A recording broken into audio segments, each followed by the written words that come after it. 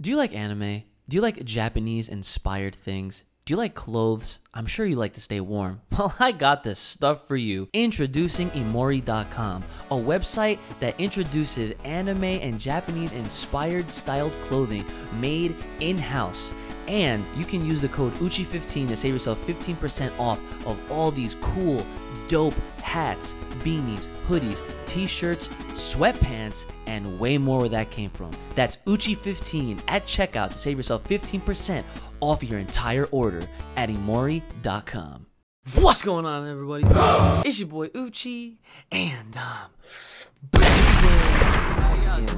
How y'all doing today? Okay, guys, we got a little discussion um, on our hands today for this uh, this today's episode, right? So, Demon Slayer has been reported that it is now basically officially, if it wasn't already before, the hottest manga series out to date, and it's proving so by how well it's doing on the sales. Specifically, I do have the Crunchyroll article in front of me. This John sold 40 million copies wow. and, it, and, it, exceeded that so it's over 40 million copies sold blows past sailor moon the likes of berserk and a bunch of others okay now i wanted to bring this up into a video discussion topic i wanted to bring some light and give you guys my opinion on why i think it's doing so well and how this could potentially play out and maybe trickle into other series. Now, I do want to go over a little bit of this article that I will include in the description below, so make sure after you hit that like button, you check out the article for yourself. Just over a little month ago, I see that they were just recently celebrating 25 million copies sold um, in Shibuya, they had like a bunch of posters in like like lined down the streets. So you can only imagine what Japan is like right now. It's pretty lit over there, and they're kind of freaking out. And a little bit of backstory for those that are not aware of how popular Demon Slayer really is.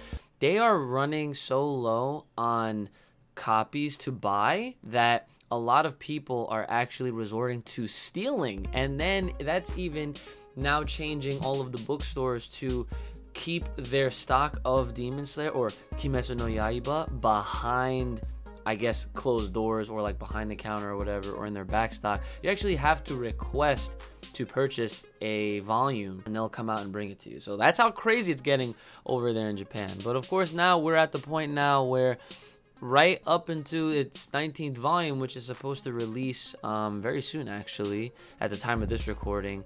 Um, the manga will have sold over 40 million copies, and that's including the digital versions. Now, they do have a chart that I guess I will include in this video as well, and this is kind of highlighting how well this series is doing volume to volume to volume. You can see on the side there, you see like the sales in the 3 million equals 300 range. So that's kind of giving you an idea of how much money these series are making. And we're comparing this to not just like what's out now. We're not even bringing up black clover or anything like that. Like my hero academia is mentioned but we're comparing this to the big three okay? One piece naruto and bleach. And as you can see volume 17 is already doing a lot better than some of these series that you see in front of you. And honestly I have to say, my deduction, aside from the content within the story being as great as it is, I have to make this call and say that I feel like the anime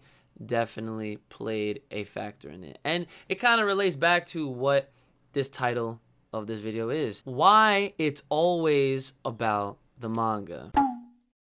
Do you like Attack on Titan, Dragon Ball Super, Doctor Stone, Full Metal Alchemist Brotherhood? Well, those are just a few of the several different hundreds of anime selections that you can watch for free with my trial code for Funimation Now. All you gotta do is click that link in the description below and check out Funimation Now for a free 14 day trial period to enjoy all of these anime and many, many more. That's Funimation Now by using the link in the description below.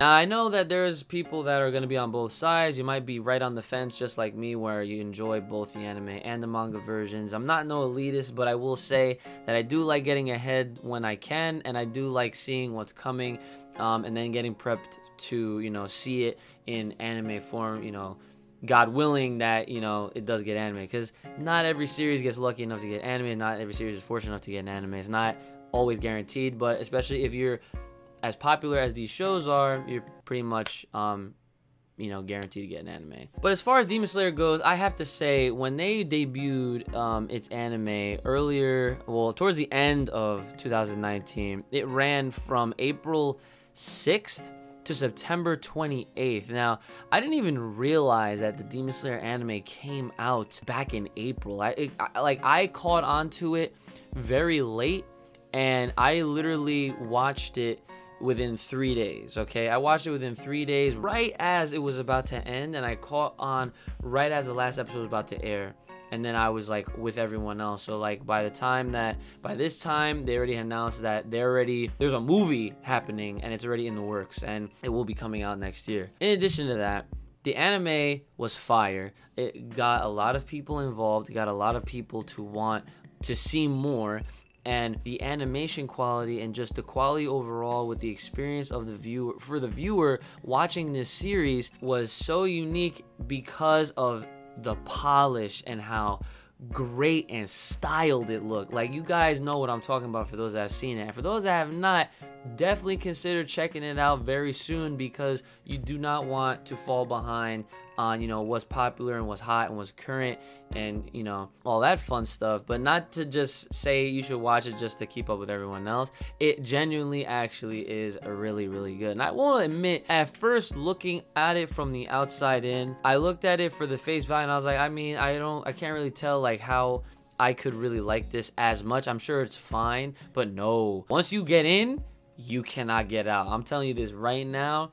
And I, like I said, I really feel like it has a lot to do with how well the anime was received. And because of that, I feel like it definitely played a factor into its popularity just blowing up so fast like it did. And I do feel like series that received well-made anime will see a significant difference, positive difference in their manga sales. I know that there are other series like Berserk that Where's the new chapter? Well, let's be honest here. Berserk is pretty much lacking in the anime department as of the last, I don't know, freaking decade or so. The fact of the matter is that series is so good on its own and it's so popular on its own, you know, for millions of different reasons. That manga is essentially flawless. But when it comes down to Demon Slayer, Demon Slayer, I haven't even started the manga, but I can tell you right now, as somebody that is a little bit more than just your average otaku, your average fan, your average whatever. I will let you guys know that this is literally how they get us and how they get you and how they get anybody else that has any slight interest. All you gotta do is produce a sick anime when your your soundtrack is OD, your quality is OD, everything, the sound effects, the characters. I mean, yeah, it helps that the story is great, but the rest of the show in itself is amazing. I think that the anime definitely had a really important role as, as to why this huge number and this milestone for Demon Slayer is being hit. And guys, this is literally officially making Demon Slayer above My Hero Academia as far as sales goes. I mean, like everyone loves My Hero Academia. Everyone loves Naruto and Bleach and One Piece. I mean, still loving One Piece, obviously. I mean, I'm not on it, but that's besides the point. Demon Slayer has surpassed My Hero Academia. Everyone's like looking at My Hero Academia as like that is its own big three in one. If you know what I'm saying? Like, had Naruto, Bleach, One Piece, those were the big three, but now it's like now My Hero Academia, I feel like My Hero Academia had the vibe where it was its own big three, if you guys understand what I'm saying. But looking at these sales, I feel like Demon Slayer is uh, kind of proving that otherwise. And I think that the secret to really boosting your manga sales because you can sell well on your own just for the content that was within your series. Obviously, because at the end of the day, if your story sucks, your character sucks, nothing's relatable, you can't get no feels, and there's no takeaways from your series, then at the end of the day, it is what it is, and it's just not that great. It's not going to be well received, and it'll show in the numbers. When you have all of that already in combination with a well-produced anime where there is no flaws every every episode is fire and then on the special episodes when you know what i'm talking about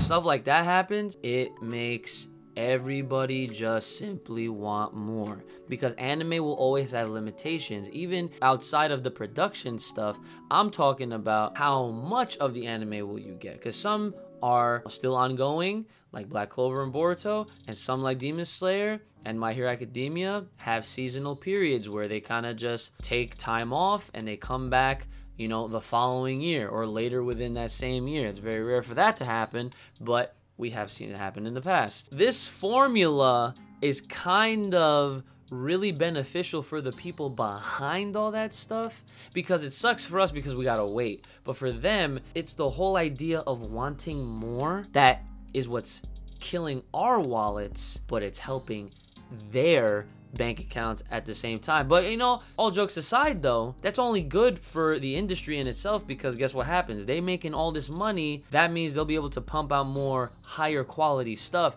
And like Demon Slayer with after only having one season of 26 episodes, and the last episode already confirmed got a new movie. And as according to this article as well, Anime Japan 2020 that's happening very soon and also relating to Bleach. If you haven't checked out my last video, please go ahead and check that out. Demon Slayer is getting its own stage. Now we already know that the movie is coming. Now I'd imagine during this time they will also announce the season two return if there is one, the date for the movie, and such and such. But that's my opinion and what I feel like helps boost you know the manga sales and and why eh, at the end of the day it really is all about the manga because anime literally only gets more people to want to read in the first place. And since the manga is always, and well, shouldn't say always, but 90% of the time the source material, what happens when you can't wait for the next season to come out, you're at least gonna go check out Shonen Jump, you're at least gonna get a digital version, or you're just gonna go and start getting your physical collection on and buying all the physical uh, manga books. So with that all in mind, guys, that's pretty much all from me. I just kind of wanted to talk a little bit about this and shed some light give you guys my opinion on the whole matter and con to congratulate, you know, the series of Demon Slayer and uh, let me not butcher this dude's name, Koyoharu Gotouge. Okay, this man is a genius. Apparently, he's really captivated a lot of his audience, his readers. They keep coming back for more. And from what I hear on the street, Demon Slayer is not even supposed to be that long of a series, but it's already 19 volumes deep. So, I mean, who knows if it'll make it to volume 30 or something like that. But we have seen that happen in the past. If you remember, Dragon Ball Z that manga ended around volume 26. Rurouni Kenshin ended at 28. If you count the first half of Naruto, that was like 28 volumes, I want to say.